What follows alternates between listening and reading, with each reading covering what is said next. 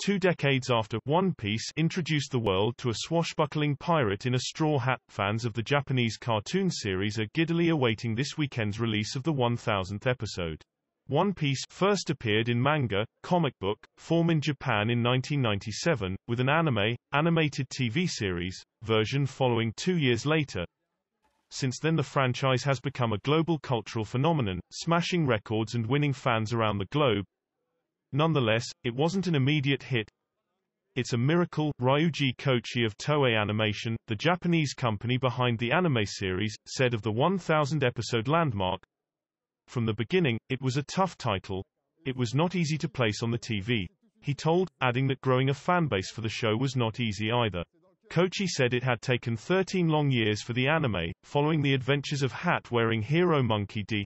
Luffy, to reach cult status, Today, however, hundreds of millions of fans are gripped by every twist in the hunt for the eponymous One Piece, the treasure coveted by all pirates. The popularity of the manga version has also endured as the TV show has taken off.